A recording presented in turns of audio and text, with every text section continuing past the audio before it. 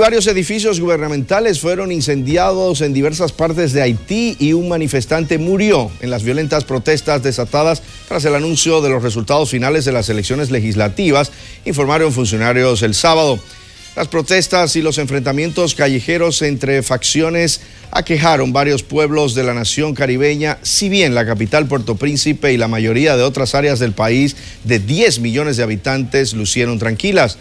En partes del norte y sur de Haití, los enfadados electores insistieron en que los resultados dados a conocer el viernes por la noche por el muy criticado Consejo Electoral no reflejan la voluntad de los votantes. La segunda vuelta para los comicios presidenciales y legislativos está programada para la próxima semana en medio de numerosas acusaciones de fraudes y manipulación de resultados.